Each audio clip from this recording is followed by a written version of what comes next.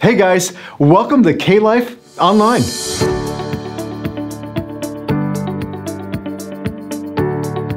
First, it's Father's Day weekend. Kids, if your daddy's in the room, run and jump into his arms right now and say, I love you, daddy. Daddies love hearing that kind of stuff. And if your dad is not in the room with you, call him this weekend and let him know how much he means to you. And maybe as you reflect on those who have invested and spoken life into you throughout the years, a brother, an uncle, a coach, teacher, pastor, or even just a friend, I encourage you to reach out and call and text them. Let them know how much you respect and appreciate who they are and how they've invested in you.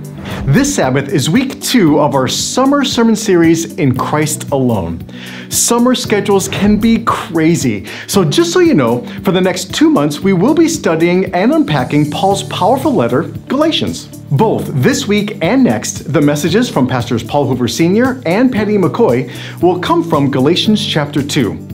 So we encourage you to personally dive in and get familiar with the passage. And to help with this, as an extra resource, we encourage you to check out Kettering Connect, our weekly videocast where we spend some time reading, discussing, and processing the scriptures in anticipation of that week's teaching.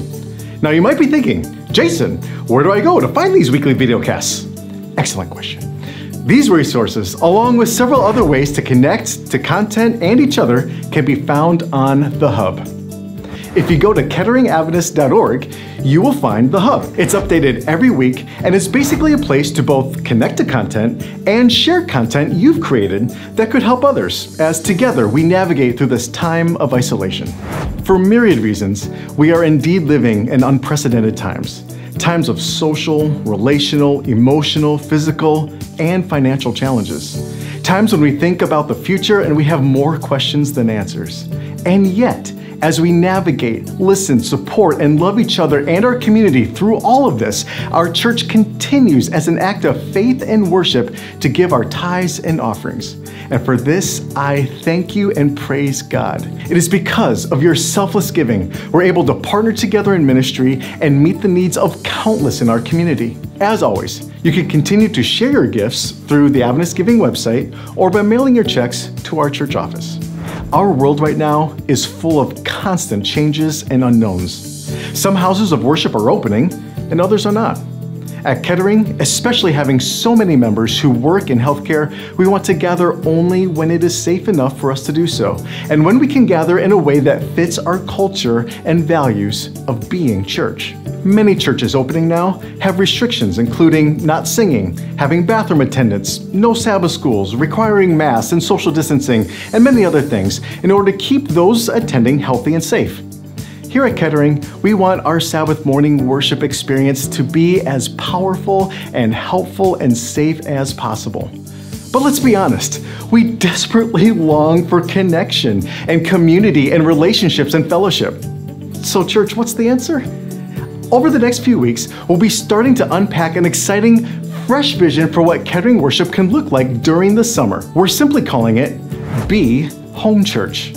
Essentially, we're encouraging all who are healthy and comfortable with this to simply gather in a very small group, perhaps at a home or park, to safely watch the service and then discuss the teaching of the week. Maybe you host a watch party with another family, or gather in a small group for a Sabbath afternoon walk or hike, and when you do, bring up the teaching of the day.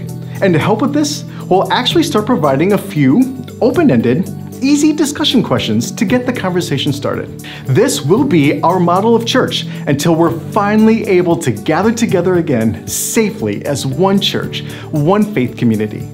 Like you, we're not 100% sure, but we anticipate this happening toward the end of summer, sometime in September, probably when the new building is done. But when we do gather again together, church, we have some big, new, exciting plans. Like, honestly, it's gonna be awesome. And speaking of these new, exciting changes, I'm gonna let our interim lead pastor, Pastor Paul Hoover Sr., give you that information. Thank you, Jason. Church family, our prayers have been answered. We have a new lead pastor. Following 10 months of searching, our lead pastor search committee and the church board voted unanimously to recommend Pastor Andrea Jacobsons to be our new lead pastor. We have formally extended a call on behalf of the Ohio Conference, and she has accepted. Pastor Andrea is currently serving at the Spencerville SDA Church in Maryland and plans to take up her responsibilities here around the end of July. Please join me in praying for Pastor Andrea and her husband Michael as they transition to begin their ministry to our church community. We look forward to becoming better acquainted with Pastor Andrea and Michael in the coming weeks.